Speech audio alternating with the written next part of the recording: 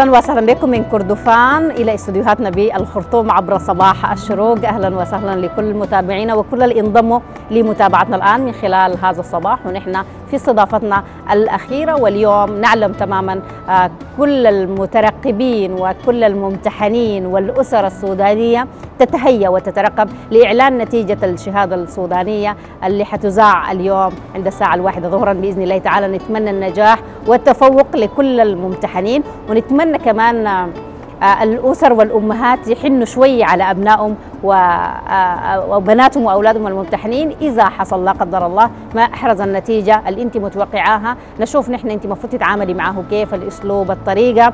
الطالب ذات نفسه وإحساسه بالنتيجة انتظاره لها أي مشكلة أو خلل حصل كيف ممكن تعالجه؟ ده محورنا اللي حيكون اليوم مع اختصاص علم نفس الأستاذة إلهام أحمد محمد علي. أهلا وسهلا بك وصباح الخير عليك. أهلا وسهلا بكم. قناه الشروق برنامج آه، صباح الشروق. أنا سعيدة جدا والله باستضافتي اليوم معكم آه، للتحدث فيه. يعني آه، آه، يعني هي حاجة مهمة شديد نعم. وتؤدي لأشياء كثيرة. طبعا الامتحان وما أدراك الامتحان وبالذات الأسر المتوقعه أو مترقبة. حدوث آه، يعني نتيجة مشرفة لأبنائها الطلاب. التحية للسادة المشاهدين التحية للمعلمين والمعلمات وللأسر. وللطلاب ونتمنى لهم. كل التوفيق والنجاح الباهر ونتمنى لهم حظ إن شاء الله. سعيد إن شاء الله إن شاء الله. والتوفيق إن شاء الله إن شاء الله آه طبعا هي الامتحان هو عملية تربوية آه يعني لها أهداف معينة تتم بطريقة تعليمية محددة. فهذه وقد تحدث تحول أو هام في آه حياة الطالب والأسرة معا نعم. وده كله بيؤدي للتوتر والإرهاق بدءا من إجراء الامتحان دخول الطالب للامتحان. زي ما امتحن هالليلة جي- عملت كم جبت كم آه، اشتغلت كيف الأسرة بتكون عايشة في جو نعم. التوتر. و آه، ده بيؤدي إلى شنو؟ آثار نفسية مترتبة على هذه العملية. واحدة من الحاجات اللي إحنا خلينا أيوة. نحن حنجي حنجي وحنعمل تسلسل لحلقات قبل الامتحان. لكن اليوم هو الفيصل نتيجة الشهادة السودانية نعم. واليوم ده تحديدا عنده أثر نفسي كبير جدا عند نعم. الممتحنين نفسهم أو نعم. عند أسرهم نعم كيف يقدروا يتداركوا هم قاعدين منترقبين ال- الشهادة نعم. ومنتظرين ابنهم والله النتيجة أنا بقدم آه، نصيحتي أو الإرشاد النفسي بتاعي في رسائل معينة أو محددة تفضل. الرسالة ال- الأولى أول حاجة للأسرة لأولياء الأمور أو الأسر الآباء والأمهات آه بالتأكيد هم طبعا كلهم مستشرفين هذا اليوم وأي واحد عايز لكن نحن بنقول والله إنه الطالب ده مرات بنحمله فوق طاقته كثير جدا يعني نعم. ليه؟ لأنه في ظروف خاصة بالامتحان في ظروف في غلق امتحان في رعب في خوف في عدم استعداد ذاته كان لظروف معينة لكن هم الظروفية. بيكونوا شايفين إنه هم أيوه جابوا له الأساتذة أيوة. في البيت يلا الرسالة. الرسالة الأولى؟ للأسر أو أها. للآباء والأمهات إنه الحياة التشجيع والتقبل النفسي التام للطالب. وبالنتيجه اللي بي- بيتحصل عليها يعني.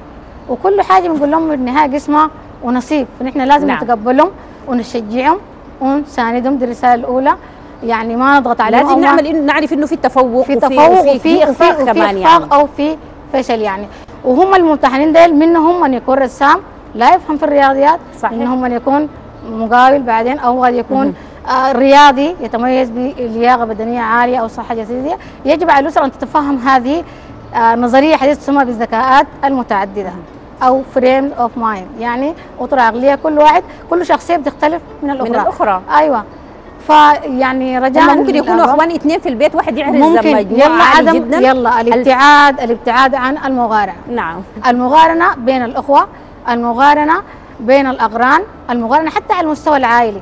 يعني التلاميذ أو الطلاب ديل أو الأبناء في الأسرة الواحدة بيختلفوا صحيح يعني ما أخوه مثلا تفوق وجاب نسبة عالية هو بالضروره إنه هذا الطالب أو الطالبة تفوق تجيب. نتيجة عالية فكل شخصية لها استعداداتها لها قدراتها العقلية لها ظروفها المصاحبة فنرجو أو آه، أتمنى من الأسر أولياء الأمور والامهات يتفهموا هذا الجانب يعني جميل. يكون في تقبل يكون وحدة. في تشجيع نعم. أيوة نعم التوازن النفسي اللي بيحصل من خلاله التشجيع اللي بتتكلم عنه. كيف إنه ممكن أسرة تكون متزنة نفسيا متصالحة مع ذاتها عشان ما تقدر كمان تهيئ الجو لأنه طفلك؟ الليلة النتيجة ما في مشكلة. إذا أنت نجحت حتمشي الجامعة اللي أنت عايزها وإذا حصل حاجة أنت حابب تعيد من أول جديد حابب. التفاهم من الأسر. تقبل. أنت عارف إنه طفلك ده أنت أكيد عارف مستواه نعم. مما دخل. يعني مستواه هو كيف؟ فأنت تتقبل النتيجة على هذا المستوى. يعني إنه هو إذا اجتهد وكان بها جاب لك نتيجة. إذا ما انت عارف ال- ال- المستوى أو قد تكون في اخفاقات حصلت أثناء الامتحان أو أو ظروف خاصة حصل له. اضطراب هو ذات حصل له حصل له في عوامل داخلية وفي عوامل خارجية في عوامل داخلية ما نقدر نتحكم فيها صحيح. ولي الامر يعني فنحن لازم نتفهم أو الأسر تتفهم والآباء والامهات يتفهموا إنه ما خلت دي نهاية المطاف وما معناه الامتحان ده طريق واحد ما معناه إنه جاب علامات سيئة خلاص القيامه تقوم دي حاجات من ربنا وعمل عليه ونشجعه نخليه في يوم من التشجيع نعزز الثقه بالنفس له الحاجة الثانية للاباء والامهات إنه يبتعدوا عن اللوم.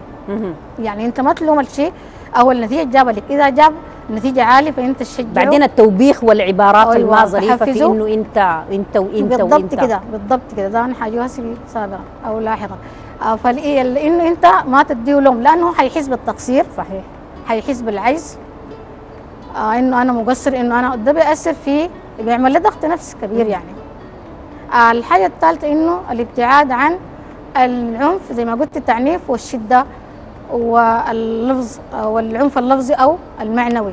طبعا الجسد ده ما اظن هو الأمر بدق الطالب إذا ما جاب لي نتيجه قد يكون يحدث يعني والله في حاجات بتحدث يعني أحيانا ما, ما بتكون يعني. فيعني رجاء. يعني أو رسالة للآباء والأمهات والأسرة إنه تبعد عن التعنيف سواء كان لفظي بكلمات معينة أو معنوي بالإهمال يعني. يعني أنت جبت لي النتيجة خلاص أنا بهمل لك أي كل حاجاتك اللي أنت عايزها مني لأنك أنت ما جبت لي حاجة ده عقاب كويسة أو كعقاب يعني.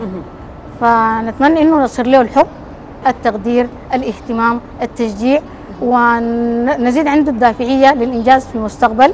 نعم. ونخليه بعد ذاك يختار برغبته يعني حتى التلميذ المتفوق نخليه يختار برغبته يعني الكليه اللي هو عايزة. صحيح. واحدة من والفشل الحاجة. أيوه قبل ما الفشل نجي نخليه ل- تجربة سابقة لشنو؟ للنجاح.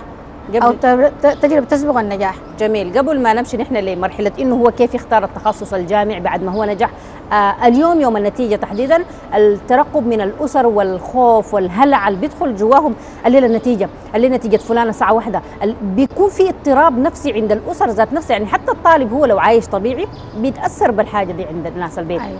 ولو الأم هي متوقع إنه ولدها يجيب 97 وجاب لها 95 هي خلاص بالنسبة لها دي نتيجة غير مرضية. طبعا هو هو بالنسبة له نجاح يعني. حتى لو نجح يمكن كان خاطي إنه ما ينجح خالص لأنه. هو عارف عمل شنو الامتحان وأدى الامتحان ده كيف؟ والظروف ال- الصاحبة الامتحان. فهو لما يقول أنت جبت مثلا 60 أو 70 هو فرحان. فإيه ليه الأم تقتل الفرحة والأب يقتل الفرحة؟ أيوه جواهم في ال- ال- الطالب أو الطالبة. هو فرحان بها يعني في ناس يمكن يكون ما حالهم ال- ال- الحظ انهم ينجحوا نعم. ذاته. فإنت يا أخي أخذ بيده وشجعه يا أخي والله نجحت وكويس منك وناخذ بيده وما ما, ما نضيع فيه الحاجة دي. لأنه. الحزن ذاته بيضعف القلب والحزن بيثبت العزيمة.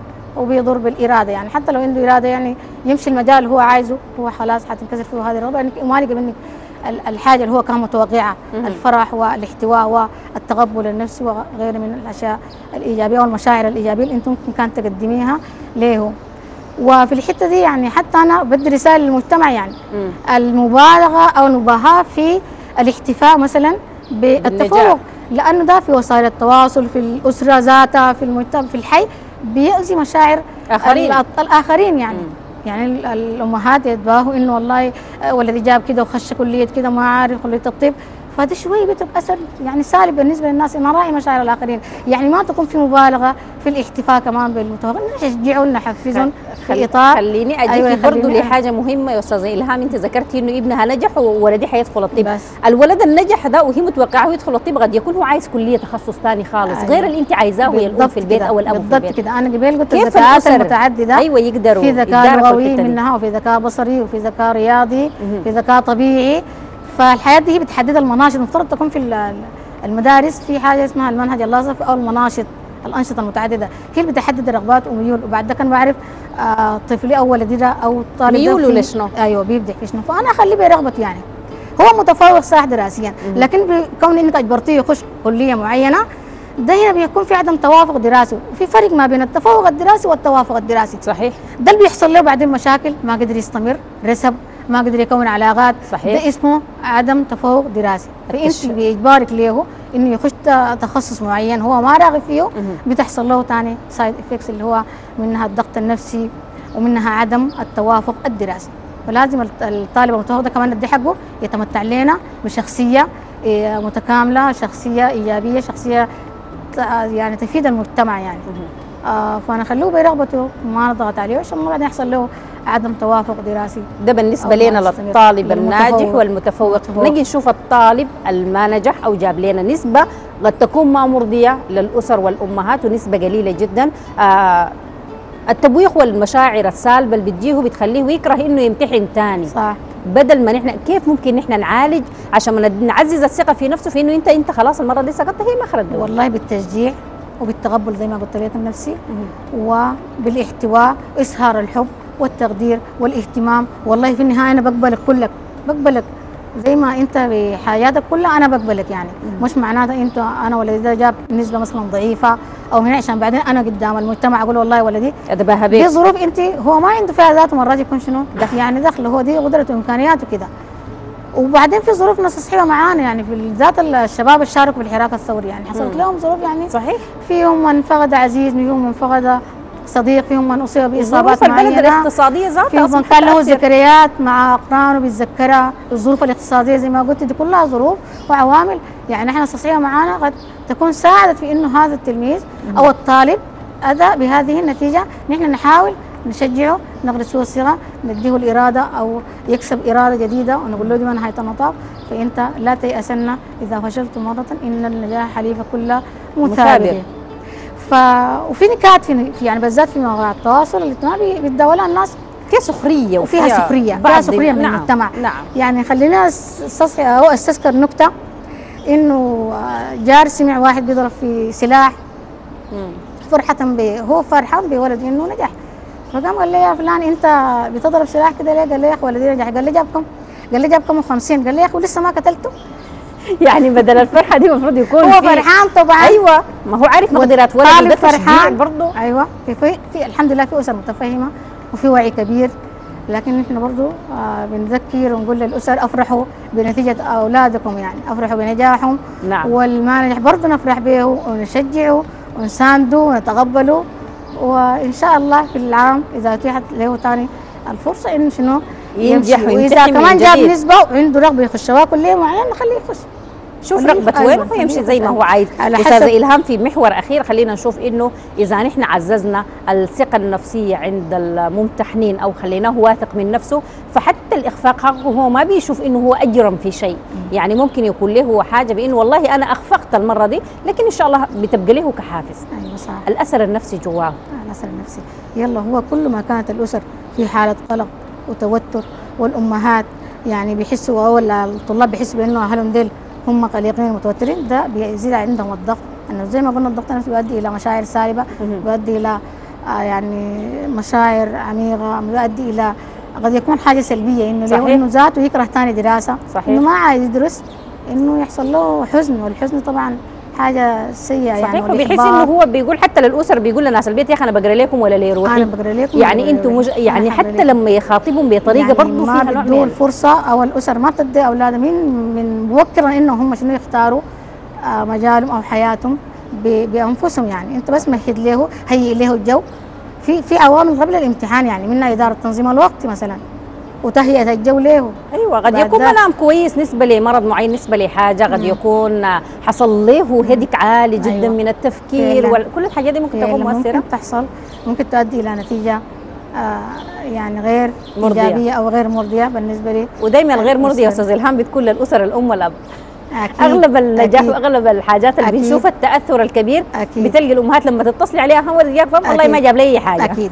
ما جاب لي يعني بتقول لك. والله ما جاب لي هنا هو يعني هي بتقول الكلمة وما خلى باله ليها لكن أيوة. هو خلى باله إنه هو. شنو يعني يعني في عدم تقبل صراحة صحيح، يعني هو- عدم تقبل وفي إهمال واضح يعني في إهمال واضح للطفل اللي ما بيحرز نسبة عالية الم- قد يكون أنا بقول بعض ما أعمم يعني صحيح. أقول بعض الأسر يعني رغم ف- إنه الواحد يجي الامتحان الأم والأب يسألوه هل الامتحان كيف؟ بيقولوا والله 100 100 فهم بيقفلوا على الحاجة دي إنه ولدنا ده نهاية أيوة. النجاح. ف- فالناس متفوق. أنا يعني أقول للأسر تتوقع يعني تتوقع كل ال- الممكن يحدث يعني. وما بنقول ليس بالإمكان أبدع مما كان وإنما نقول بالإمكان أبدع مما كان. صحيح. أيوه نحن نبدأ معاه تاني خطوة بخطوة وناخذ بيده ونمشي معاه شاء الله. إلى بر الأمان. نحن شاكرين. ومقدرين لوجودك معنا في صباح الشروق. شكرا جميلا اختصاص علم النفس أستاذة إلهام أحمد محمد علي. نتمناك إن شاء الله في صباحات جديدة بإذن الله تعالى. شكرا لكم أنتم قناة الشروق. وأنا سعيدة جد بإني يعني قدمت بعض الرسائل. أتمنى إنها تكون أفادت الأسر وأتمنى النجاح لكل الممتحنين ولكل. الممتحنات يعني. إن شاء الله. كلها تفرح بنجاحهم إن شاء الله. نتمنى النجاح يكون حليف كل الممتحنين لهذا العام واليوم هو يوم آه قد يكون لكثير من الأسر مهم جدا في حياتهم عشان ما يغرسوا أو ي- يشوفوا حصاد ثمرة السنة أو العام المضى من مذاكرات ومن تعب من إرهاق من مدارس. من آه، مشاعر كثيرة هم في انتظارها نتمنى اليوم إن شاء الله يكون النجاح حليف أولادكم. شكرا دي صباح الشروق لهذا اليوم. شكرا جميلا شكرا كثيرا كل الناس اللي رافقتنا وتابعتنا وكانت معنا من خلال هذا الصباح. نشوفكم إن شاء الله في صباح جديد ونتمنى لكم نهاية أسبوع سعيدة. في أمان الله.